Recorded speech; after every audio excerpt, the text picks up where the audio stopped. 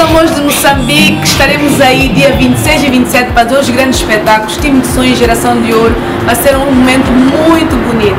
Aguardamos por todos vocês, já compareçam em massa. Um beijinho no vosso coração. Fiquem com Deus.